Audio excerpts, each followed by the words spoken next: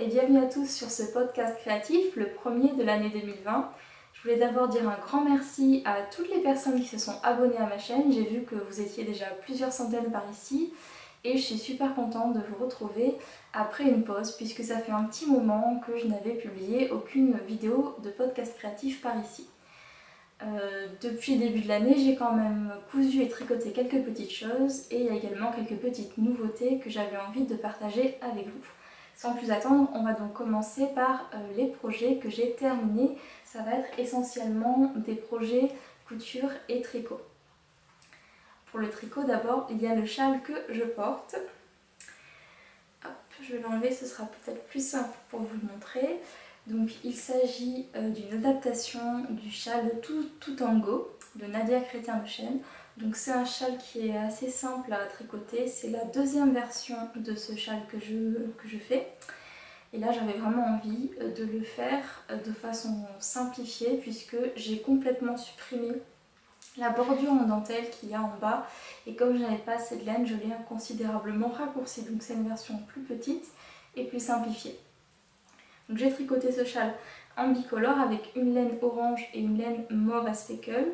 Et c'est deux laines qui m'avaient été offertes il y a un petit moment et que j'avais beaucoup de mal à associer dans mon projet euh, jusqu'à ce que je tombe sur ce modèle de châle du tout tout en beau.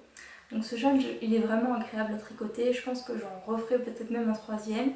Euh, il se tricote de haut en bas, il y a des petits jours œillets tout le long et moi donc j'ai fini par une petite bordure de point mousse toute simple puisque j'avais envie vraiment de quelque chose de facile à tricoter. J'aime beaucoup les couleurs et ses dimensions aussi parce qu'il est quand même assez couvrant. Il est assez grand.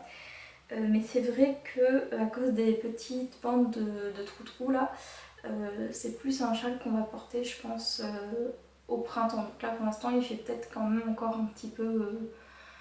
Hein, il n'est pas encore vraiment adapté à la saison. Et au niveau de la forme, je trouve qu'il n'est pas forcément très pratique à porter enroulé autour du cou. Euh, je préfère le mettre euh, sur les épaules et je trouve ça plus, plus joli, plus saillant. Donc c'est comme ça que je le porte et il est très agréable. Voilà, donc premier projet fini, euh, une adaptation du Tutu Tango, donc un petit châle. Ensuite, j'ai aussi terminé autre chose. Autre chose qui m'a depuis vraiment longtemps. Donc c'est un poncho. Euh, J'étais partie d'un modèle que j'ai complètement adapté qui n'a pas grand chose à voir avec euh, le modèle initial et que j'aime beaucoup. Il est très chaud, je l'ai tricoté en laine drops. Alors je vais peut-être enlever pour vous montrer. Hop. Voilà, donc c'est un poncho tout simple qui se commence par un col roulé en côte. Et ensuite donc j'ai fait une espèce de petit motif euh, avec des mailles glissées dans plusieurs couleurs et après voilà. Donc le corps est tout simple et se termine en maille. Le corps du poncho a des petits trous, je sais pas si vous verrez, voilà.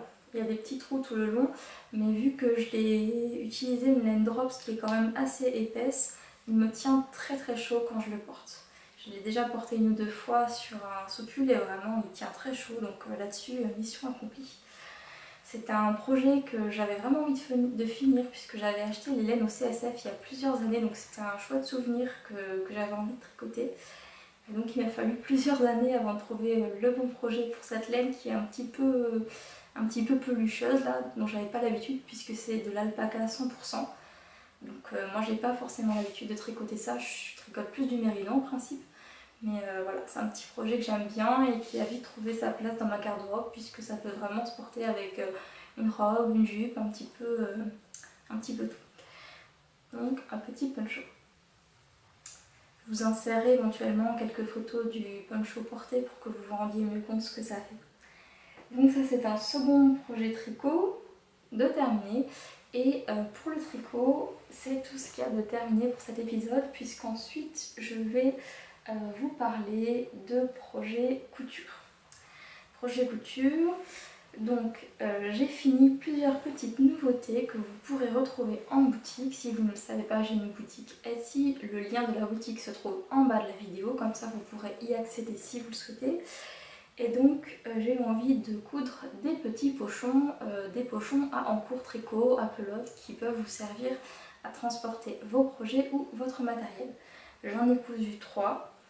Euh, les trois un peu sur le même modèle, ils font quasiment les mêmes dimensions, ils sont presque identiques, c'est juste euh, les couleurs et les motifs du tissu qui vont changer. Donc le premier c'est celui-là, donc avec un motif de pivoine en haut et en bas, du jean noir.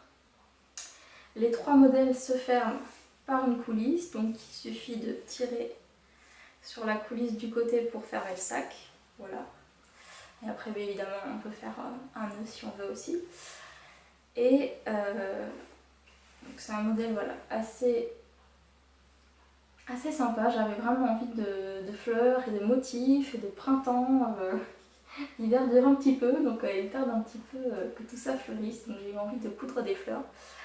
Et donc euh, avec une petite étiquette sur chaque modèle.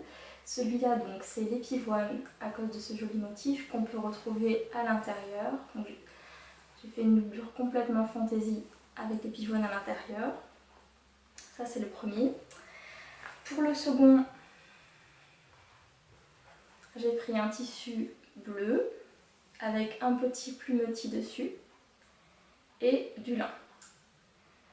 Donc celui-là, euh, il a l'air tout sage comme ça quand on le voit de l'extérieur. Et après en fait, quand on l'ouvre, il y a la petite dose de folie puisque je l'ai entièrement doublé avec un tissu à motif de flamme rose. Donc je vais peut-être vous le retourner pour que vous voyez de l'autre côté, ce sera plus simple. Donc là, hop, je retourne, le petit fil, c'est pas grave. Je retourne pour que vous voyez ça. Voilà, donc retournez. Évidemment, les pochons sont réversibles entièrement si vous le souhaitez. Retourner, ça donne ça. Avec des motifs de flamme rose. Il n'est pas dingue ce motif. Je trouve que tout de suite, ça donne une pêche d'enfer. Donc voilà.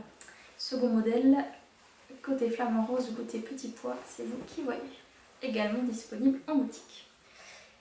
Troisième, également avec des fleurs. Donc cette fois-ci, c'est un motif de rose que j'aime beaucoup. J'avais déjà réalisé un sac sur ce modèle. Il avait bien plu, donc j'ai fait un pochon à tricot. Voilà, donc si vous êtes intéressé par l'un de ces trois pochons, rendez-vous dans le petit lien boutique sous la vidéo. Euh, je pense que je vais peut-être en coudre d'autres parce que j'ai encore euh, pas mal d'idées d'association de tissus, donc affaire à suivre. Voilà pour la couture terminée. J'avais également pris pour vous montrer un, pochon que j'avais réalisé aussi il y a quelques temps. J'en ai vendu d'autres sur ce, même principe et c'est un peu le même modèle. Donc celui-là pareil, ça peut être un pochon à en court tricot ou un pochon à linge ou à ce que vous voulez, à laine, à ce que vous voulez. Euh, il y a aussi le motif flamme rose. Cette fois-ci j'avais mis un cordon avec des œillets en métal. sur l'autre modèle c'est une coulisse, mais là c'est des œillets en métal. Et donc sur celui-là par exemple il y avait aussi le petit motif flamme rose euh, super sympa que j'avais décliné euh, à l'extérieur. Donc celui-là est aussi disponible en boutique si vous le souhaitez. Voilà pour la couture et les petits pochons. Euh, ensuite, j'ai envie de vous parler de ce que j'ai en cours. Donc en cours, j'avais commencé un gilet. Ça fait un petit moment que je n'avais pas tricoté de gilet. C'est un modèle gratuit que vous pouvez trouver sur le site Drops. Le nom c'est quelque chose comme euh, Moonlight Jacket ou quelque chose comme ça. Je vais vous mettre la référence pour que vous puissiez le retrouver si vous voulez. C'est un petit gilet tout simple mais voilà, euh, je me dis que cette année j'ai envie de tricoter quelques basiques pour ma garde-robe que je puisse mettre avec tout, pas forcément des choses très colorées ou très originales, même si bon c'est vrai que le châle que je vous ai montré il est quand même pas mal coloré. Mais concernant les gilets, j'avais envie de colorer un peu plus sage. Et donc ce gilet Moonlight Jacket, c'est un gilet tout simple en point jersey. Voilà, rien de très extraordinaire. Euh, je tricote dans une laine fil d'art, je crois que c'est la file R, coloris pêche. Euh, c'est une laine très très fine mais plutôt agréable à tricoter. En fait ça se tricote plus vite que, ce qu'on pourrait penser parce que le fil est très très fin.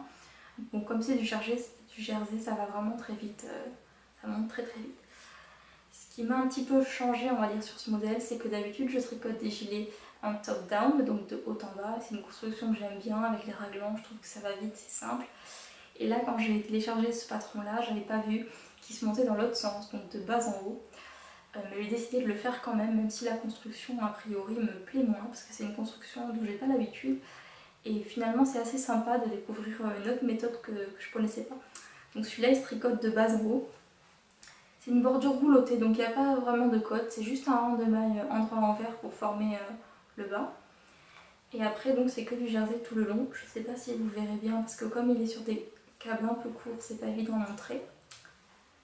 Voilà, donc en gros, on commence par le bas. Et après, bah, on monte. En fait, on commence d'abord par monter le devant et les doigts en partant du bas. Et ensuite, on vient tricoter chaque manche sur un câble séparé. Donc ça, j'avais jamais fait. Donc chaque manche sur un câble à part du câble où on a le dos et les devants. Et ensuite, on vient regrouper les manches. J'ai pas trouvé ça super agréable à faire, mais bon, ça change un petit peu de ce que je fais d'habitude, donc pourquoi pas. Et là, donc, pour l'instant, le gilet est en attente, puisque je suis tombée à court de laine, évidemment, sinon c'est pas rigolo. Et donc, euh, il faut que j'en retrouve, puisque apparemment ils étaient en rupture de stock, donc euh, il faut que je retrouve la même laine pour pouvoir le finir. Mais il est, quasiment fini. Enfin là, on se rend pas forcément compte sur les câbles, mais j'ai fait tout le bas, les manches, donc il me reste vraiment à faire la partie haute du gilet avec euh, le raglan et l'encolure.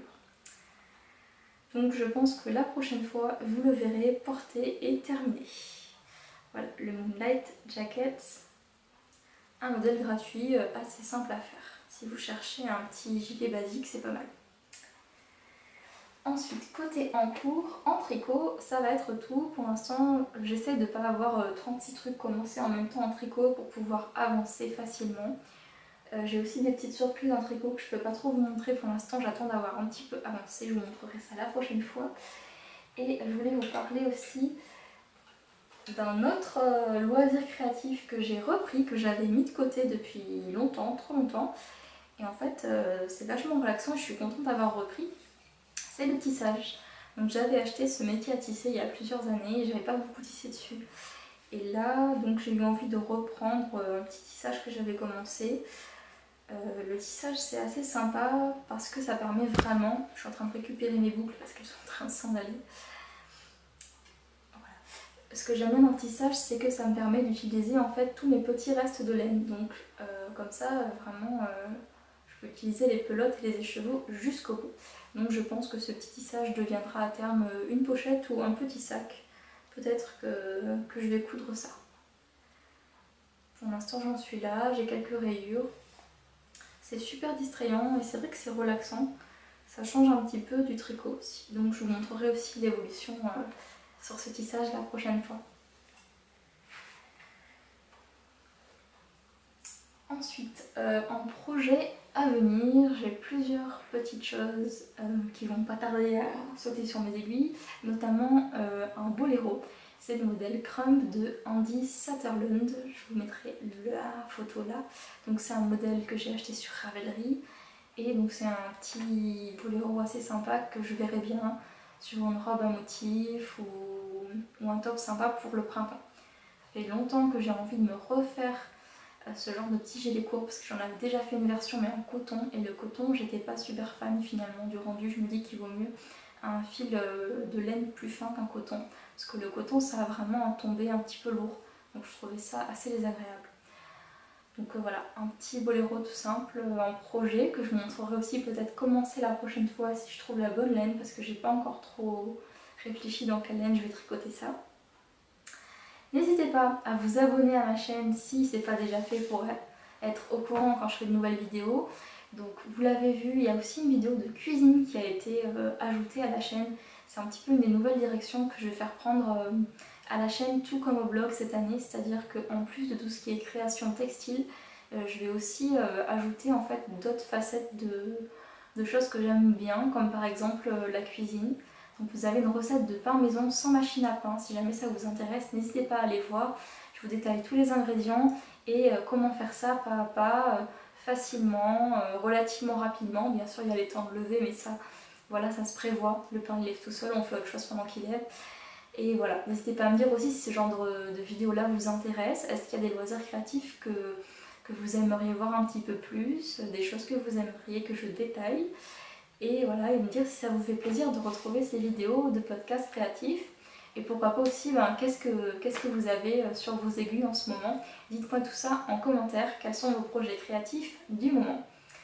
Je vous dis à bientôt pour de nouvelles vidéos. Pensez à vous abonner à la chaîne, à découvrir le blog feminafeminae.com si vous ne le connaissez pas, et à découvrir également la boutique dans laquelle vous retrouverez les petits pochons que je vous ai montrés ainsi que d'autres créations textiles. Bonne journée et à bientôt